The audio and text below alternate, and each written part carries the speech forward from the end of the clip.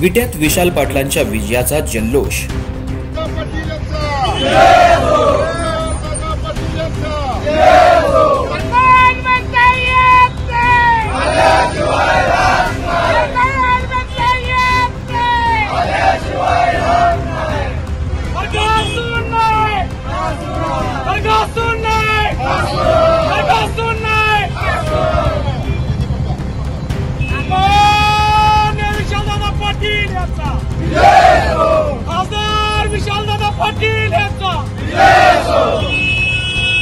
तुमच्या स्वप्नातला व्यवसाय उभारणारी जागा म्हणजे कराडचा जेबी टॉवर.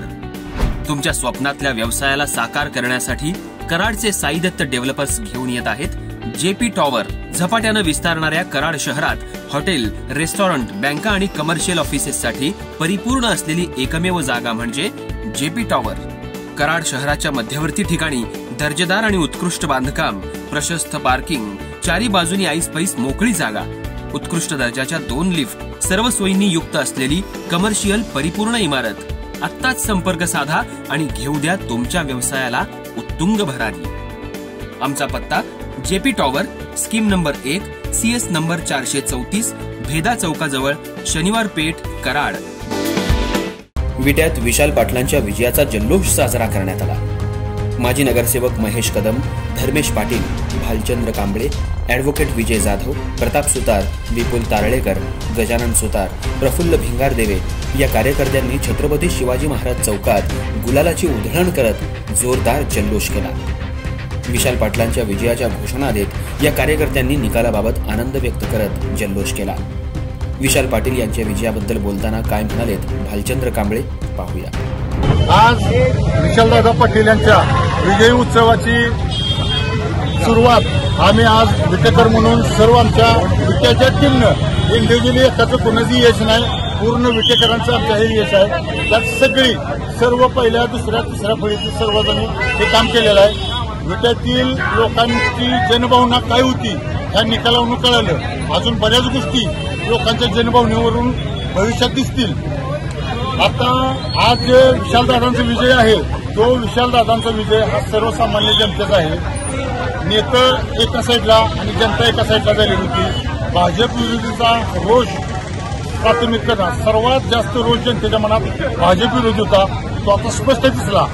महागाई असेल बेरोजगारी असेल शिक्षण शिक्षणाच्या बाबतीत असेल चुकीच्या पद्धतीने जीएसटी असेल ह्या बऱ्याच गोष्टी भाजपच्या उलट्या होत्या. पण त्या मीडिया आज आपल्याला मूळ प्रश्न मूळ जे आहे ते दाखवत नाही.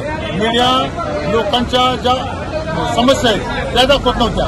त्यामुळे विशालदादांच्या रूपानं इथून पुढे सांगली जिल्ह्यात तुम्हाला सर्व गोष्टीतून विकास असेल किंवा एक वेगळं वातावरण उत्साहाचं तरुण असेल शेतकरी असेल सगळ्या गोष्टीत त्याच्यात आम्ही अजून पूर्ण निकाल बघितला नाही.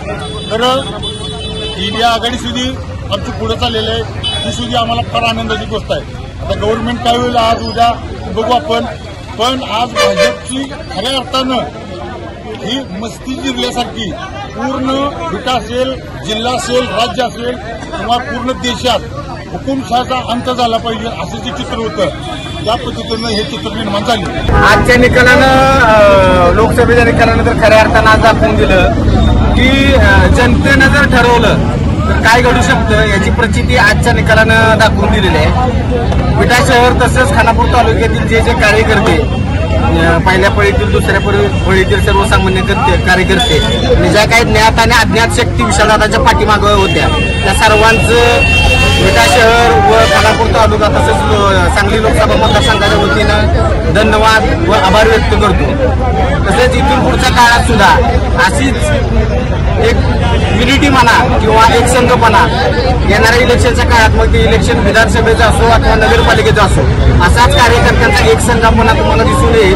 जो हा सांगली विधान सांगली लोकसभेचा जो निकाल लागलेला आहे त्याबद्दल मला एवढंच म्हणायचं आहे की लोकांनी एकदा निवडणूक हातात घेतल्यानंतर आणि जनभावना एकदा तयार झाल्यानंतर त्याची प्रचिती कशा प्रकारे होती ही या निकालाला दाखवून दिलेलं आहे. कुणीही आजची ही निवडणूक जी आहे ही धनशक्ती विरुद्ध जनशक्ती अशी निवडणूक झाली म्हणली तर काय वावगं ठरणार नाही. आणि लोकांना गृहीत धरणाऱ्यांना या निवडणुकीमधून लोकांनी एक उत्तर त्या मताच्या माध्यमात दिलेलं आहे. आणि मी सर्व खानापूर तालुक्यातल्या जनतेला आणि विटा शहरातील नागरिकांना या विजयाबद्दल शुभेच्छा व्यक्त करतो. मतदारसंघात सांगली लोकसभा मतदारसंघामध्ये जी विजयाची नांदी झालेली आहे ती विशाल पाटील यांच्या रूपानं आज या मतदारसंघामध्ये दिसत आहे.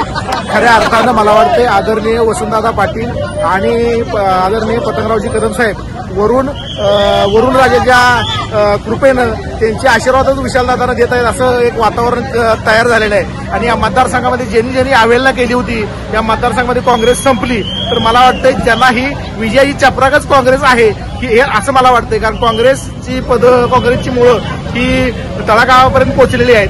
आणि हा विजय जनतेचा विजय आहे. आणि जिल्ह्याला खरं कळलं की वाक कोण आहे. ते.